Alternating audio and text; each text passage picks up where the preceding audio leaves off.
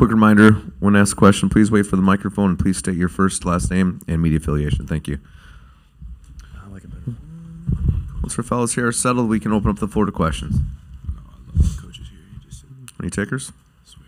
Anyway, The coaches here Right here, in the middle. pretty young, bro.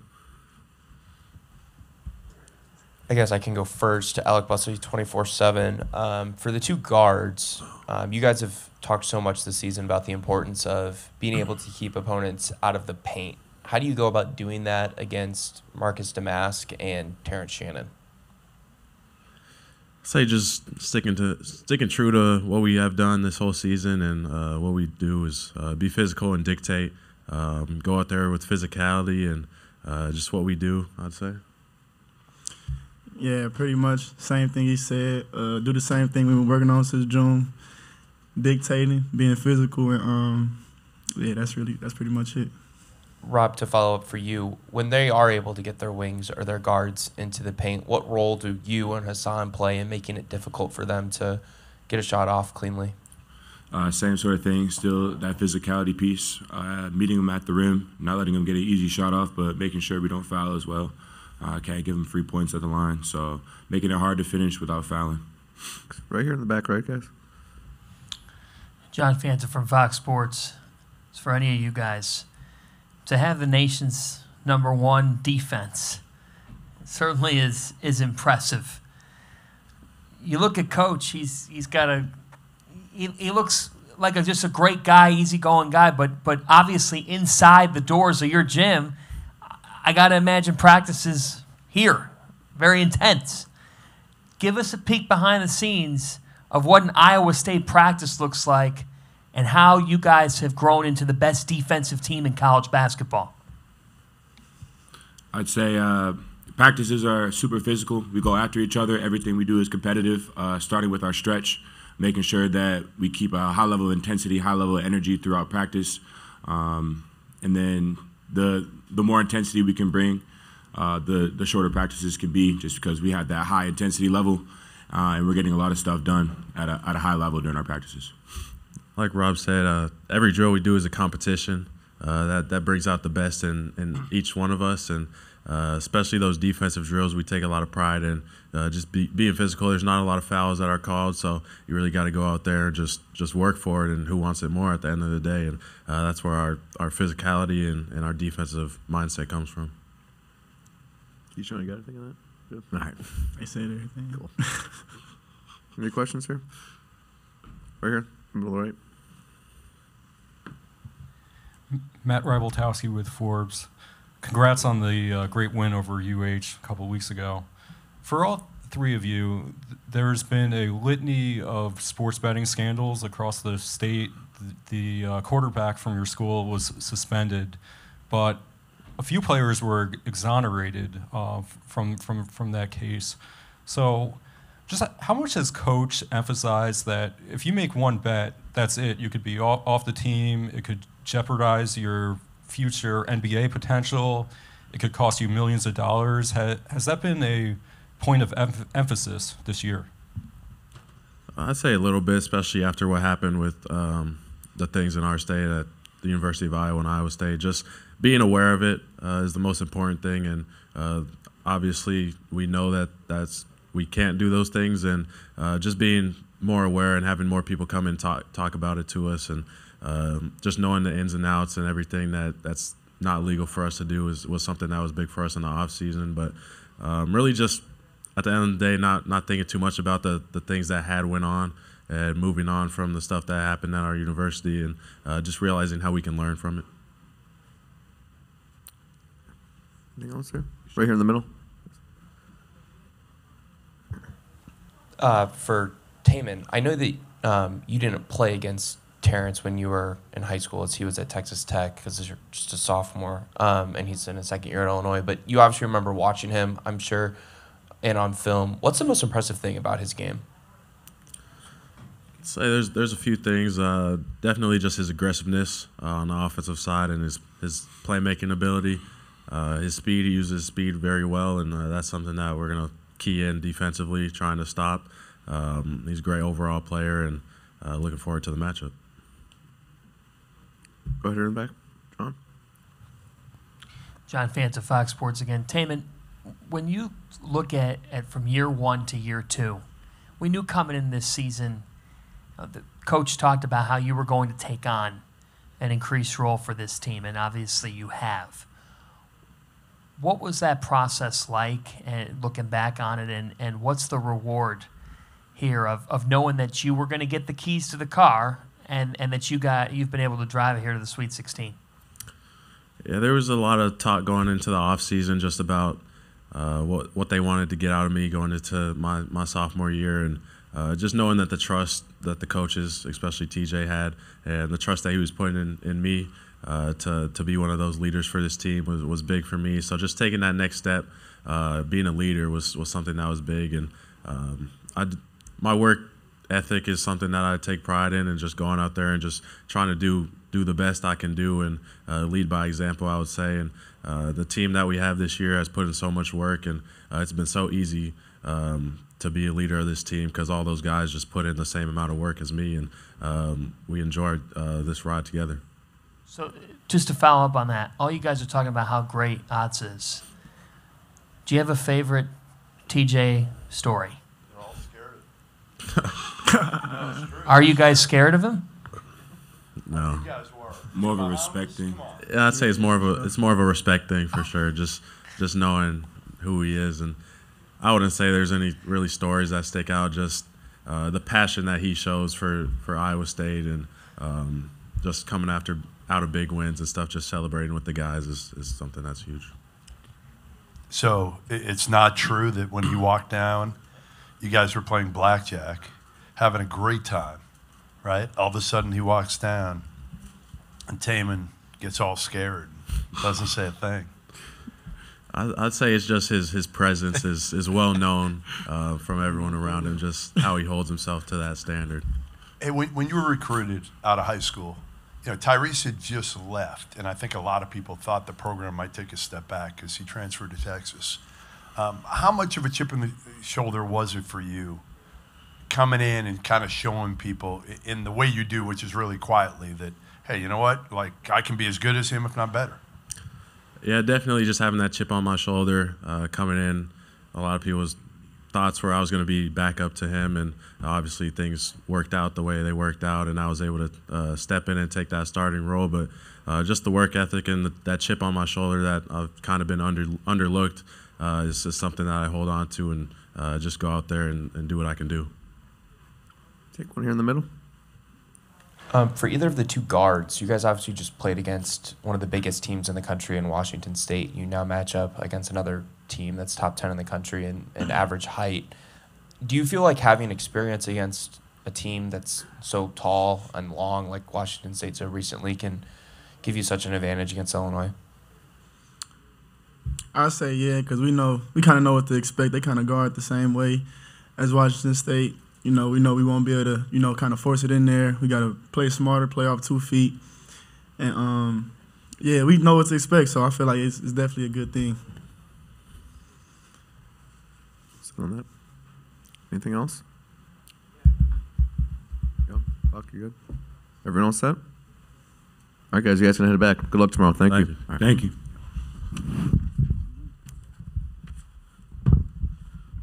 About three, four, five minutes here, we'll be joined by head coach TJ Otzelberger.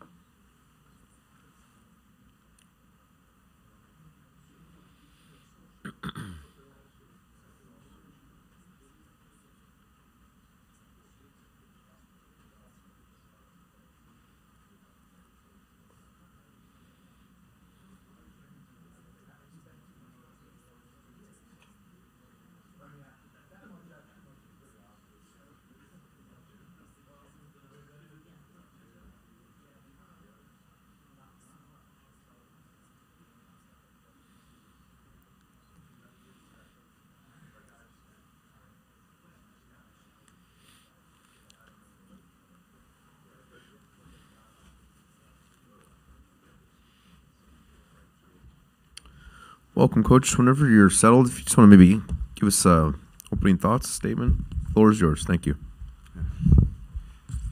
Uh, great to see everybody today. Uh, truly is an honor to be here. Uh, extremely proud of the young men in our program for the continued hard work and how they res- represent our university every single day. Um, excited uh, for the challenge that's in front of us, and uh, yeah, ready for any questions. Thanks, Coach. Open up the floor.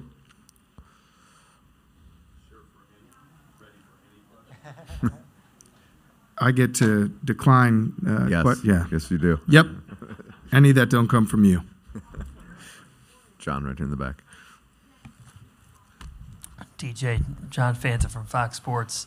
We were talking with Tamin, and he he spoke about the conversations with you, the build up from year one to year two. How would you speak to this kid's character and the way that, that he's grown into this role as being a leader for this program, and what stood out to you the most about that evolution? Yeah, we're really fortunate when Tamin came into our program so often with freshmen. They have so many things to learn in terms of leadership. And Tamin, because of his upbringing, because of his family foundation, so many great people in Ames, he has so many natural leadership characteristics that he brought in with him as a freshman. And so we benefited from those so much in that first season. And then as you look into year two, and the things I really valued is when the season ended, I think Tamin took it really personal. Um, his ability to shoot the basketball is something that some would, would have had in question. And the work that he put in the gym um, and the time that he invested, the pride, uh, you can see it now in the games. Just he's done the hard work, but there's also such a thing as like your spirit and finding a way to just will shots in like he does based on your character and your hard work. And so he really committed to that.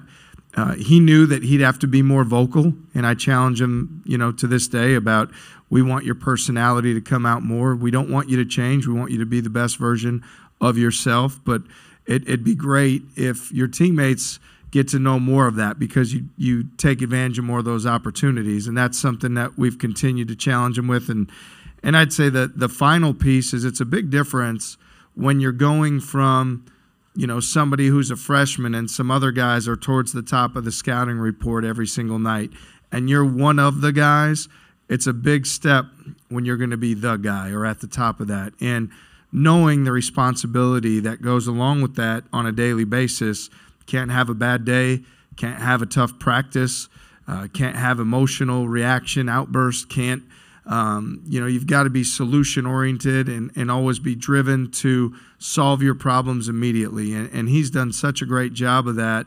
Um, there's nobody that could be a, a better leader in terms of character, dependability, and work ethic on a daily basis than what Tamin Lipsey does for our program. Right here in the middle, Coach. Hi, Coach Alec Busse, 24 7. Um, how much of an impact do you think your defensive glass could play on the outcome of tomorrow night's game? our defensive.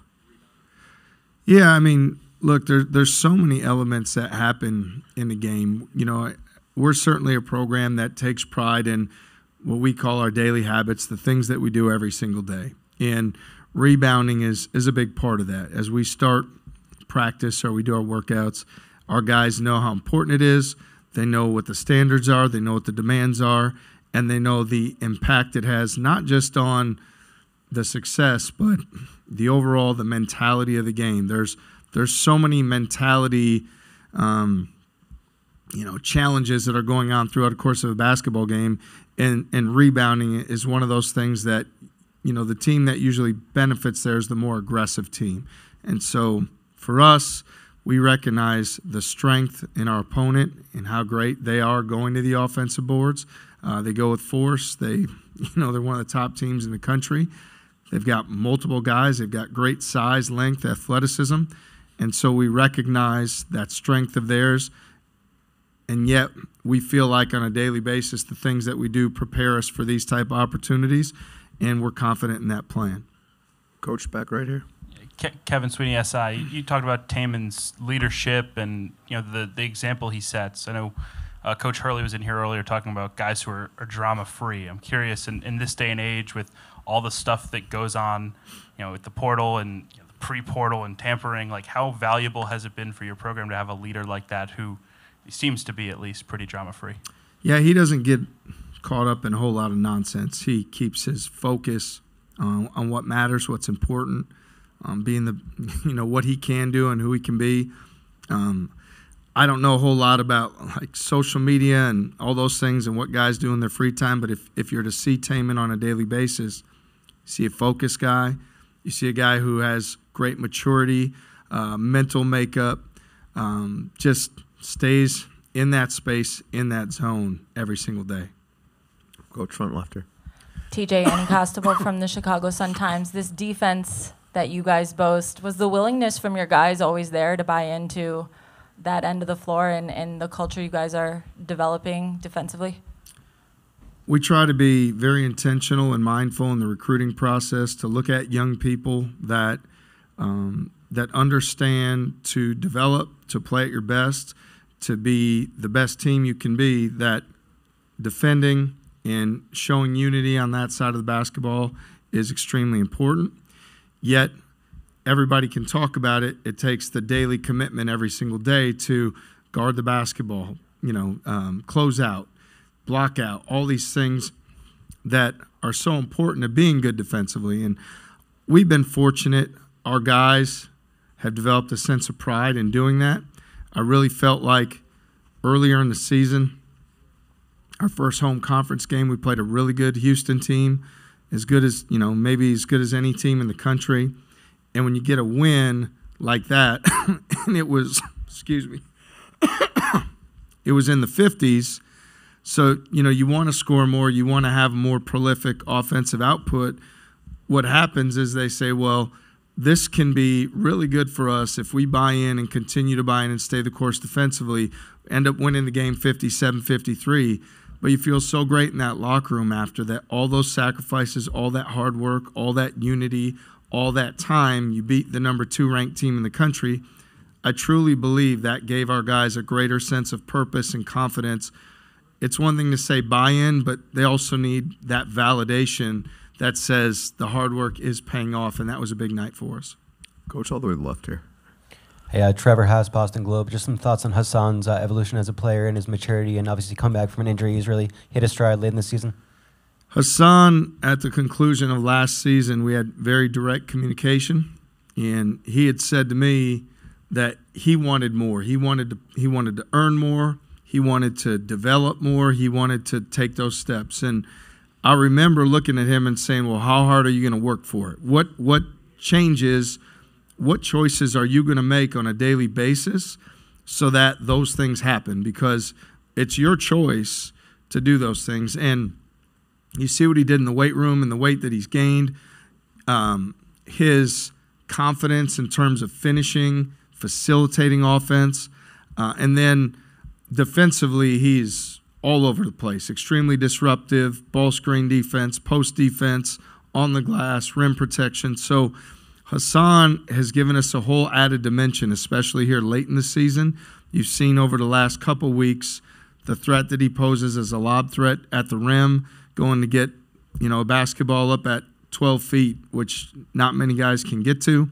Um, his the speed he plays with, uh, the mental focus that he's brought to the table, and he's really uh, he's really elevated our team. Any other questions out? right here to the right, coach. Matt Rybaltowski with Forbes. TJ, you, you may have dealt with this at UNLV with being in the backyard of the world's largest sports books, but in light of what happened at Temple, how much is being done to mitigate the risk of point shaving throughout the sport? Well, I think, you know, from our uh, vantage point, we try to educate the young men in our program and utilize the resources that we have available, you know, to make sure that they're mindful, that they know um, you know what decisions need to be made, what the conduct and the standards are at all times, and, and we do everything we can. Our administration does a tremendous job bringing in people from the outside and trying to educate them. So we'll continue just like we do in all aspects for the young men in our program. We want to put them in position to be successful. Uh, we hold it as a high priority to do the right thing, and so for us, we will continue to to keep our focus there. Anything else out there? If uh, you'll bear with me, Coach, I'm going to try and take a question here from Zoom. Uh, let me unmute you. Paul from USA Today, if you're able to speak, uh, if you're still with us, you can Yeah. go ahead. Go ahead. Hey, TJ. Um, I actually want to ask you about your fashion sense. Uh, hopefully, you don't decline this question. Um, can you tell me when and, and why you decided to go with polos and, and what the, the purpose of that was? And if you ever hear anything from fans or people behind the bench who say, hey, what size is your shirt, coach, or anything of that regard? There you go, Goodman. You got a kind of question you wanted, right? um, I'd say this. It's always interesting to me in coaching that I'm a guy that believes a lot in discipline, regimen, accountability, daily habits. It's always interesting when coaches demand that the players all wear the same thing and then the coaches all wear something different. It's always kind of stuck with me of like, what would I say to a player on the team if they say, well, why are all the coaches wearing different things and why are we wearing the same thing? So when we came to Iowa State, came back for the head coaching opportunity, it was important to me that how everybody dressed on a daily basis was exactly the same. So if you were to be at one of our practices, everybody, every manager, support staff member, coach, we all wear the same exact thing every single day. It's a shorts and t-shirts uh, with our Category Five culture, with our saying on the back in practice. And I'd say the same thing makes sense to me in a game setting of why wouldn't we all want to look our, our team and our coaching staff is is in unity and one way that we can show that is you know through how we dress through what we wear and that we're all on the same page and we're all connected and so for us we've taken a lot of pride in everybody doing that now if you specifically mean the size of my polo shirt if that's really what we're getting at here, and you didn't really care a whole lot about the culture piece, I'd say to you, uh, we started at a bigger size. Now, when you have my frame and you're built more like a wrestler than a basketball coach, it can become a challenging because come challenging because I have short arms. So if you wear this size polo, the arms are long and hanging down past your elbows. If you wear this polo, it looks smaller. So it gives me a greater sense of self discipline each day that I've got to fit into the one that our good friend Jeff Goodman would call a schmedium. Uh, that I wear that size and opt for that. It helps me stay as disciplined and accountable as I need to be to our program wearing that shirt. Any follow ups to that, Jeff? If there's uh, no other questions, Coach, we'll let you head back. Good luck tomorrow night. Thanks so much. Thank you.